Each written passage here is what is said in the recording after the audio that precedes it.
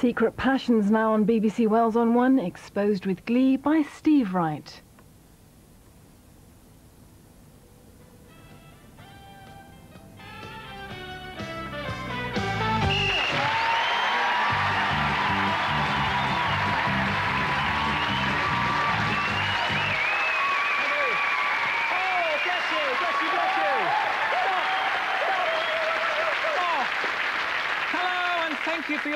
Support. Yes, it's Home Truths. And this week, Oscar-winning wordsmith Tim Rice is here. Shining, shimmering, splendid. Tim won his Oscar for the hit movie Aladdin, but never one to brag. He keeps it in the toilet. also with us is action-packed journalist and broadcaster Carol Thatcher. Now excused from duty at her mum's little cheese and wine do's at number 10, Carol has worked as a waitress, hunted buffalo and injected chickens for fowl pest. And apart from all that, she's also an expert at breaking into cars. Casualty is TV's number one drama, and here's one of its top stars, gentle giant Clive Mantle. Clive has played everything from Yobs to Little John, in fact, he was recently voted the man most women would like to be at their bedside when they're ill. Clive Mantle, Carol Thatcher and Tim Rice.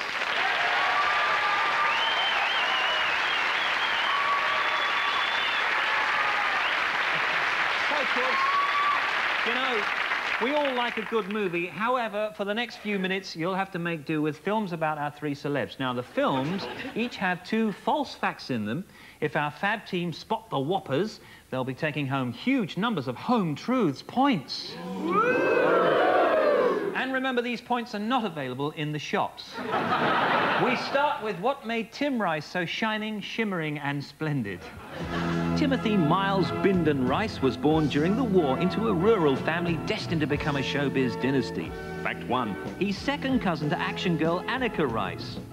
Sadly, Tim's early career as a singer brought little success. He recorded under various aliases, including the Huddersfield Transit Authority. Fact two. As Victor Trumper, his record The President's Song was banned in the USA. Even after teaming up with Andrew Lloyd Webber, success was slow in coming. But, fact three, Tim and Andrew got this song recorded by the King. But Tim was never entirely at ease in the world of showbiz, so he tried TV journalism. And, fact four, his first on-screen report was from this tragedy. Tim's knowledge of music is legendary, but not so well known is fact five. He's directly responsible for introducing the Chinese to Western pop culture.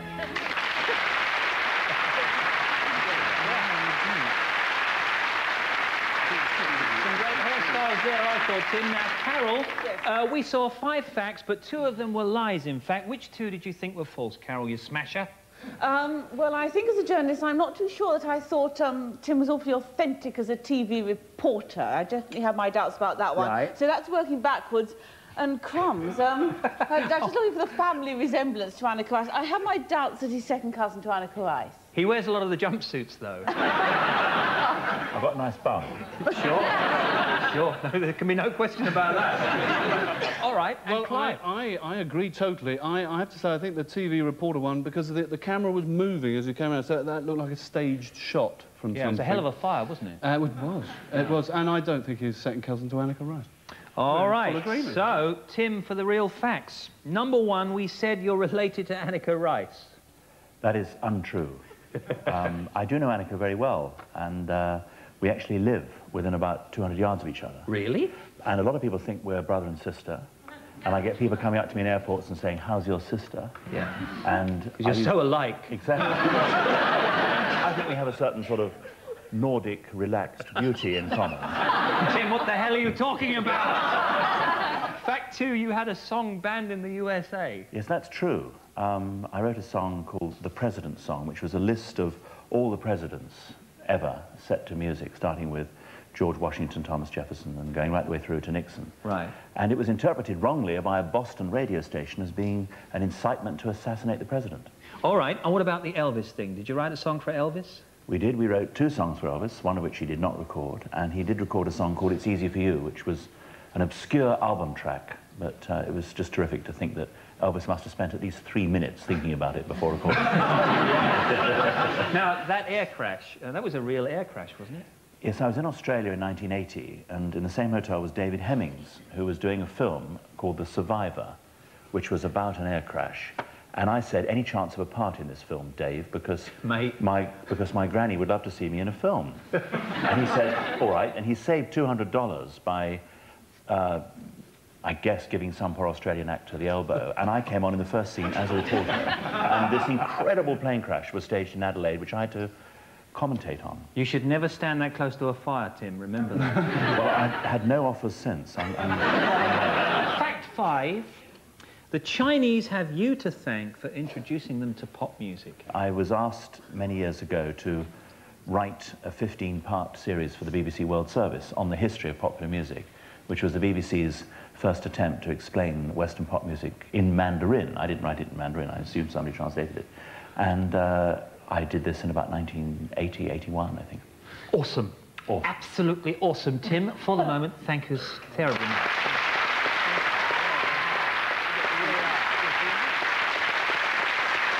Now we turn to Carol Thatcher and delve into her shady background.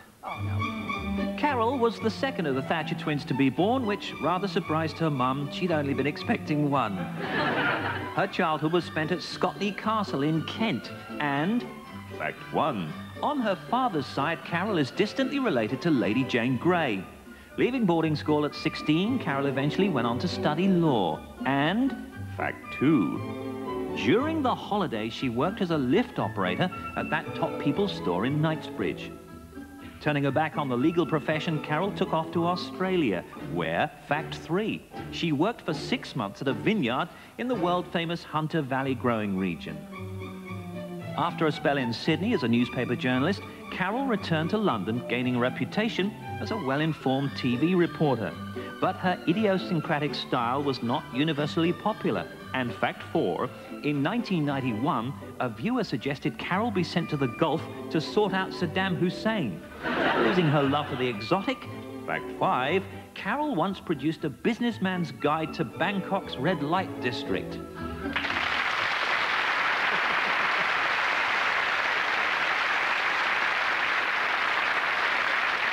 I've yet to mention, by the way, Tim Rice's very cool socks tonight. He's wearing delicious, lovely green socks. Can we get a shot of those? It's the shoes that are more important, I think. They're groovy shoes as well, Tim. Look at those. Wow. Thick Ted soles. Sure, let's move on here. Five more facts, two more lies. Tim, did you spot the two untruths? I reckon that no viewer in their right mind would want her to be dispatched to Baghdad. So I think, I think, I think that's a lie. And having bought the red light uh, guide to Bangkok, it was, it was not written by Carol Thatcher. so I think the last two are lies. Okay, let's move to Clive. What do you think? I don't think she's related distantly to Lady Jane Grey, and I don't think she produced the Guide to the Red Light District of Bangkok. Carol, fact one, you're related to Lady Jane Grey. No, this is actually not true.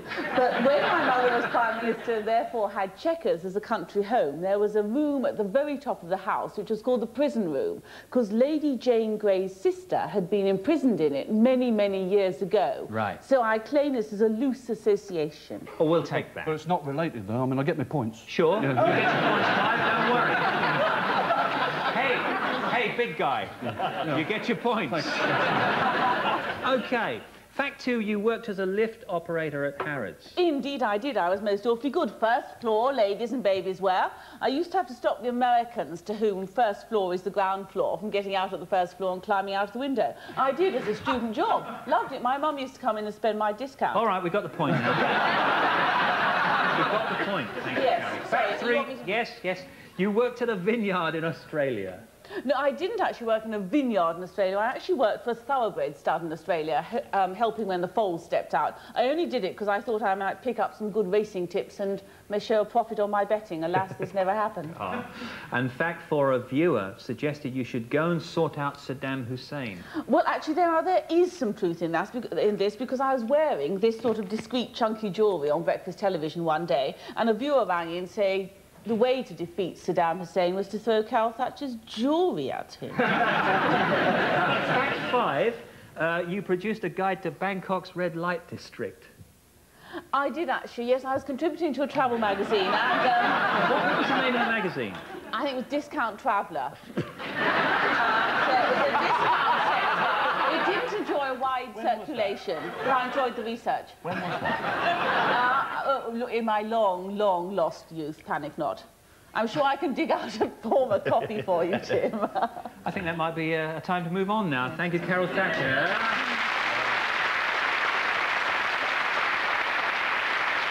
So, now we look at the heartrending drama that is the Clive Mantle story. Top TV medic Clive Mantle first crashed through the swing doors of life in Barnet in 1957. A love of music developed early and, fact one, by the age of 10 he was a chorister, recording and touring with one of the world's leading choirs. As he grew up, Clive began to reject his formal background and, fact two, he joined rebel punk band The Phlegm Men. Encouraged by his family, he auditioned for drama school, but it was three years before he won a place. In the meantime, fact three, he worked on a farm as a drainage labourer. Eventually, he graduated from RADA. Acting jobs were scarce, but Clive started to get some interesting roles. In fact four, he had a small but significant part in the adult movie Flesh Gordon. But things were on the up, and to date, Clive has acted with a galaxy of stars, including Sigourney Weaver in Alien 3. As well as being watched by 16 million people every week, fact five, Clive is the only man to have beaten up Clint Eastwood in a movie and lived to the end of the film.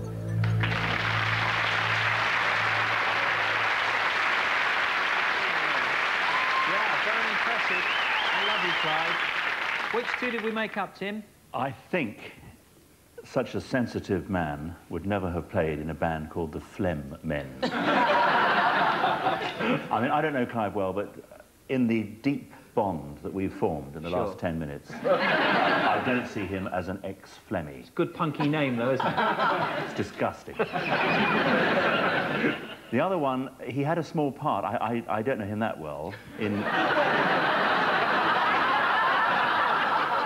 Oh, Tim. Sorry. Most unlike you.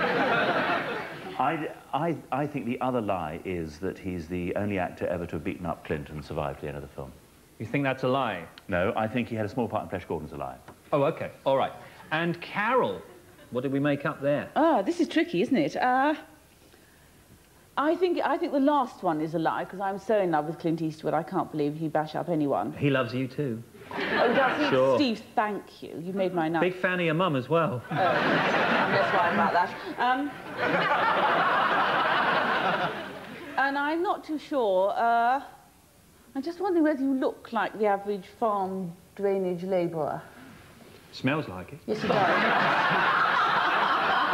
no, I'm going, to concur, I'm going to concur with Tim. Not too sure about the punk band. The Phlegm Men. Yes. All right, so let's check with Clive. Fact one, you were in the world-famous St John's Choir. I was. I was a chorister for four years, from 1967 to 1971, in St John's College Choir, Cambridge. Do you remember any of the songs? Um, o sacrum convivium.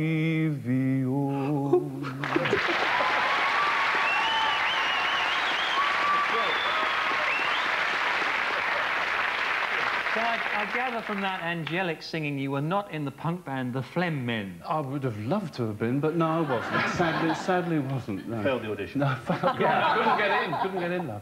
Fact three, you worked as a drainage labourer on a I farm. was, yes, in uh, Molesworth in Cambridgeshire. Uh, after I left school, I couldn't get into drama school, so I was, uh, I was a farm labourer for uh, about nearly a year. Then I was a, a caretaker in a publisher for a year and a box office manager for a year. Good grief. Next, you appeared in the skin flick Flesh Gordon. I didn't. Sadly, again, there's another audition I failed. Um, no, I think that still you showed there was from uh, Superman 4, but half an I did half an hour in Superman 4, which all hit the cutting room floor. What part did you play? I played Nuclear Man 1, Gene Hackman's uh, original creation. Nuclear Man. Nuclear Man.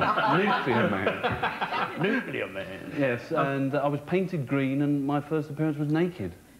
With Gene, I'd done a naked love scene with Gene Hackman. Which they cut out. Which they cut out, not surprisingly. How sad. Yeah. Um, finally, fact five, you beat up Clint Eastwood and lived to tell the tale. Absolutely true. In the film White Hunter Black Heart, I'm the only person in cinema history to beat up Clint Eastwood and live to the end of the film. Fantastic. Trivial pursuit You're not question. fantastic. Why are you beating up Clint Eastwood? Can we just explain to Carol it's not real, it's only a film?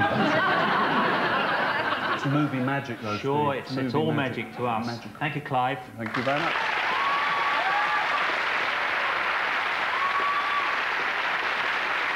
The highly important scores so far are Tim Rice with four, Carol Thatcher six, and Clive Mantle six.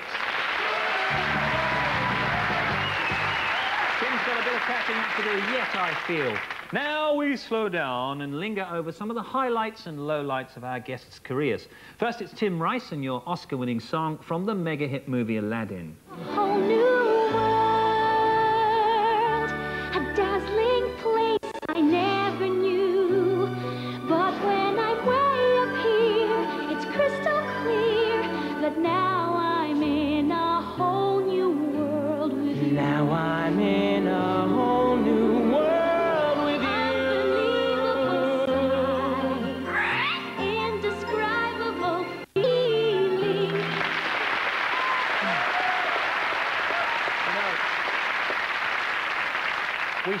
Actually take time out and say congratulations on Aladdin. I mean, what a massive hit, eh? I still haven't been able to get in. They're queuing round the block. so listen, um, there were two other films that had songs nominated for the Oscar that year. Uh, can you remember what they were? That's awful. I spent months hating them. this one was The Bodyguard, Yeah. which had not the big song, but one of the other Whitney Houston hits. Right. And the other one was a song, the song was called something like Maria, or uh, what was the film called? It was, it was a dancing thing. Um, Yeah. Uh, Cuban- Bossa Nova, Cuban, uh, the, the fabulous Cuban, uh, Uh, the the, the, the, the, the, the, the Mambo King. Yes, yeah, we'll take it. Now, let's go back to the opening of one of the biggest hits in the history of musicals, Jesus Christ Superstar. What's going on here then, Tim? I think it's the protesters on the opening night. Uh, we had them both in London and New York, and they were a terrific help for the box office. Well, yeah, some Yeah, pretty this, is- serious... this is Broadway. This Right. is a Broadway production, at the Mark Hellinger Theatre. Sure, pretty serious objections to the show, but uh, for two points, do you remember in which country the theatre actually burned down? Yes, that was in, uh, in Argentina, I believe, Buenos Aires. I think course. they, they, they rioted and burnt it down. And uh, I didn't, I was in fact going to Argentina a couple of months later to research Evita. And I decided that I would not go with a high profile. No. Because I thought, A, I.e. not say who you are Exactly. I thought, A, if I say I wrote Jesus Christ Superstar, which, which had just been bombed and burnt down, and B, I'm working on somewhere Neighbour Perón, I probably would, would even now be in a roadblock somewhere, you know, in, in a cement sandwich on the main Buenos Aires-Rosario highway. Listen, as one of the world's top lyricists, your ability with words is incredible. But in your early days as a singer, you weren't so hot. Check this out, Tim. Window thee and doggy, that is much higher. Tail waggly thee with one thee. Window thee. Yeah, now that was you. Fantastic, by the way. That was you singing How Much Is That Dogie in the window backwards. Um, for two points, what was the name of the band you recorded that with? Rover. Correct. you know yourself, don't you? That was going to be the big Christmas hit of 1972. Sure. And it wasn't. Thank you for the moment, Tim Rice. Yeah. Now to Carol Thatcher. And we said earlier that you're a real action woman, Carol. Take a look at this.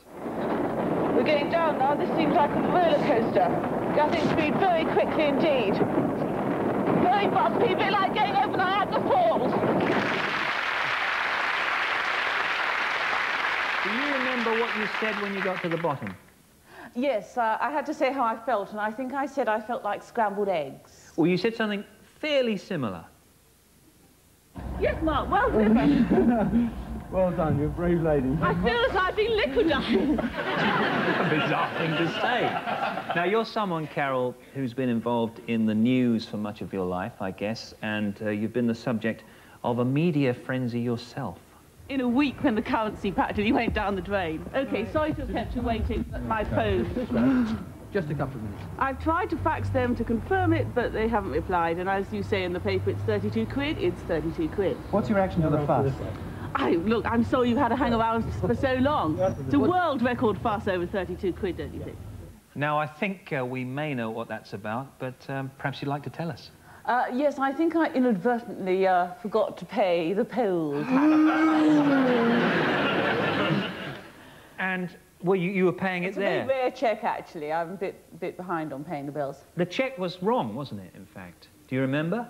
No, I think I, I left off the pence or Yeah, it was 30p.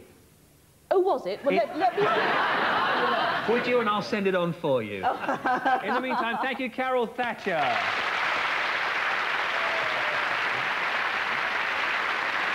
Next, Clive Mantle. Here's one of those moments we all love on Casualty.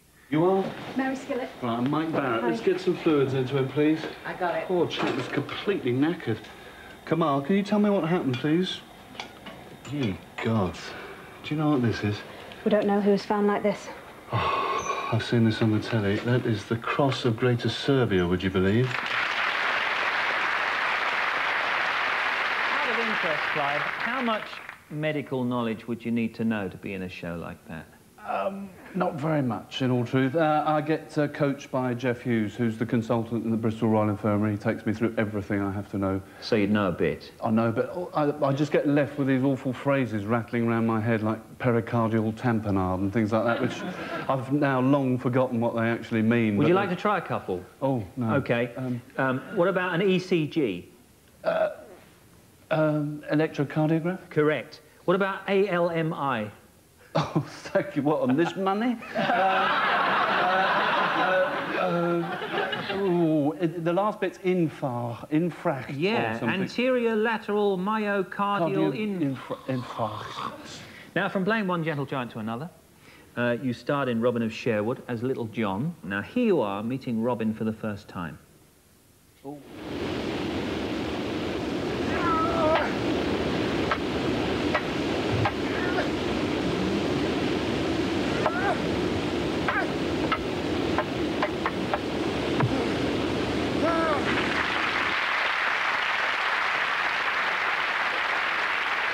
They actually tried to get DLT, but they got Clive instead. now, who went on to win that? Uh, I did. Oh, uh, yes. No? Uh, Robin. I thought, oh no, yes, in, in Robin our version. oh, oh, that's right, yeah. Oh no, yes. fell in. No, I, I was always beating Michael Praed up, that's what I'm confusing. really. What in real life? yeah. Now, in that clip, you were actually possessed by an evil spirit. That, that's right? why I was pulling such horrendous faces, yes. Do you remember how you became, I guess the phrase must be dispossessed? Yes, um, Michael very tenderly uh, daubed water on my chest and rubbed out the inverted pentangle. A bit like in Casualty. Let's have a look. Let's have a look.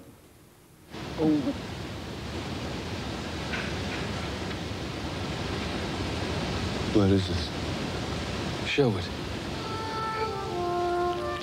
Set me free. it looks so different. Give it up for Clive Mantle. Woo. And after that, The scores are Carol Thatcher with eight, Tim Rice with 10, and Clive Mantle with 11.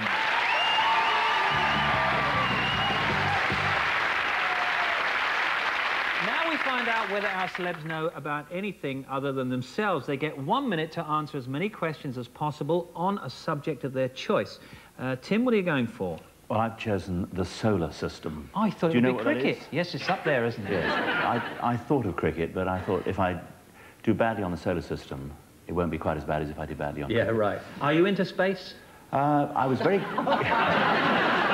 Obviously not wearing a helmet now. Yeah. I, was, I was very keen on astronomy as a child. Okay, 60 seconds on the solar system. Tim Rice, starting now. Which planet is closest to the sun? Mercury, Correct. Name the coldest planet. Pluto, Which planet is furthest from the sun at the moment? Neptune, Correct. How many moons does Mercury have? none. Who discovered, correct, who discovered the laws of planetary motion? Johannes Kepler, Yeah. Which gas is the main constituent of the sun? hydrogen, Great, correct. One planet has a year shorter than its own day. Name it. Venus, Yeah. Which planet spins backwards? Venus, Correct. Which musician discovered a planet? ah, Herschel, yeah, discovered Uranus, if you pardon the expression. Ganymede is the largest moon in the solar system. Which planet does it orbit? Jupiter. Correct. Wow. Brilliant. Two steps, 10 points. Brilliant. 10 points.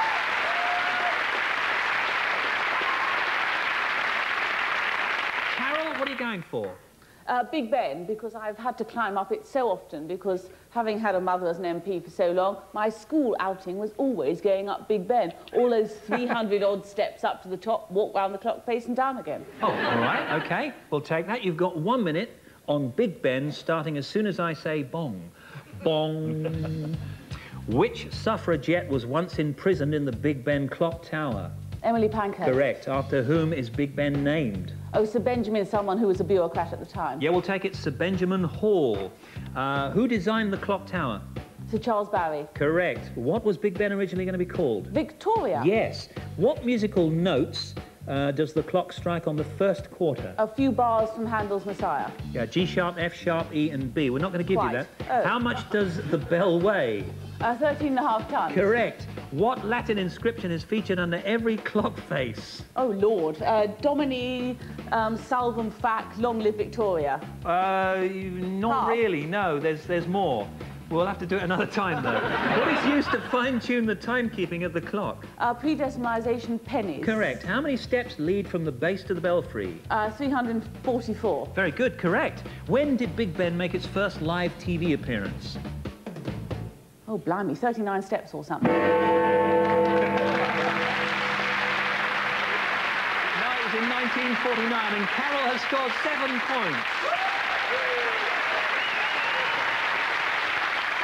All right, Clive, what are you going to give us then? Uh, Chelsea Football Club, I'm afraid. After these two lofty subjects. John Major's team as I well. know, I Do you ever see him down there? Oh, well, I used to see Henry Kissinger down there a bit. Really? You know, You don't see John going, come on, you blue. No, we're all very deep-voiced at Chelsea. All right, here we go then. You've got one minute on Chelsea Football Club starting oh. now. Which player gained most England caps while at Chelsea? Raymond Wilkins. Yeah, Ray Butch Wilkins. Who was the last Chelsea player to score at Wembley? Oh, come on, we're going back now. Uh, is that David Speedie? It was Tony Dorigo. Uh, which player holds the Chelsea record of 41 league goals in a season? Jimmy Greaves. Correct. How much did the famed Chelsea goalkeeper Fatty Foulke weigh? 22 stone. Correct. First goal. In 1988, Chelsea were relegated to the second division in the playoffs. Which team sent them down? I was there, uh, Middlesbrough. Yeah.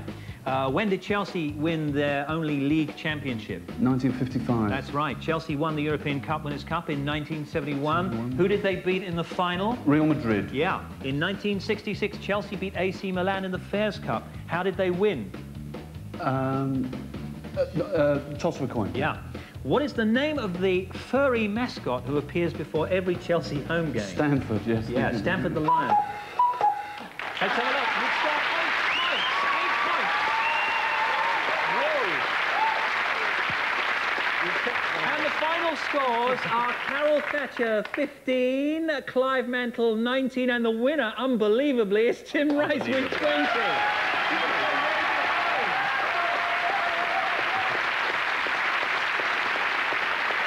that's it, kids. A huge home truth thank you to Tim Rice, Carol Thatcher and Clive Mantle, and give yourselves a big thank you too. Please lead a full life until we meet again. Enough respect, good night. See you next week.